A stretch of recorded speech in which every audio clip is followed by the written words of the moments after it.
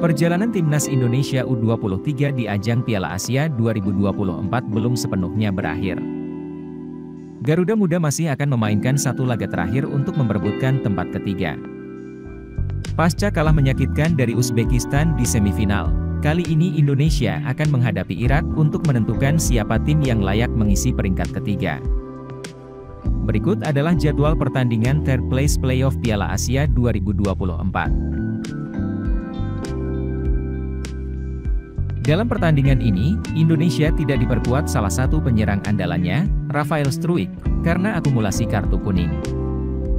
Timnas juga kehilangan kapten tim, Rizky Ridho, yang mendapatkan kartu merah saat menghadapi Uzbekistan di partai semifinal. Skenario Timnas U23 lolos Olimpiade 2024 Garuda Muda masih punya kesempatan lolos ke Olimpiade sebagai peringkat 3 Piala Asia U23 2024.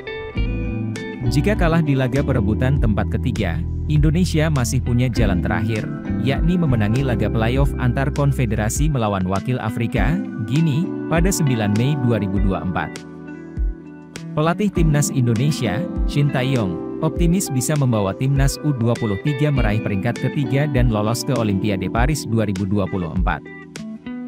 Kami tetap mempunyai peluang untuk melaju ke Olimpiade, jadi kami akan mempersiapkan diri dengan bagus untuk bisa lolos ke Olimpiade, kata Coach Shin, dikutip pssi.org.